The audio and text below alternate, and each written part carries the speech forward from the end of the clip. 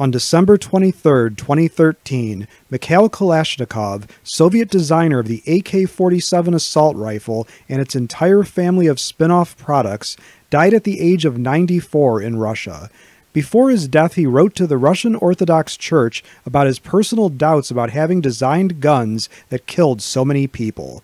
In fact, about a hundred million of his guns have been made, more than any other design. Is Kalashnikov the greatest firearms designer?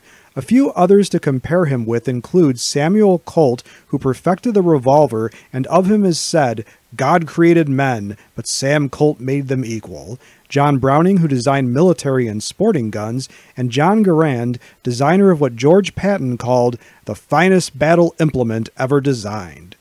As a question for my students and subscribers, who do you think is the greatest firearms designer? Please let me know in the comments section for this video.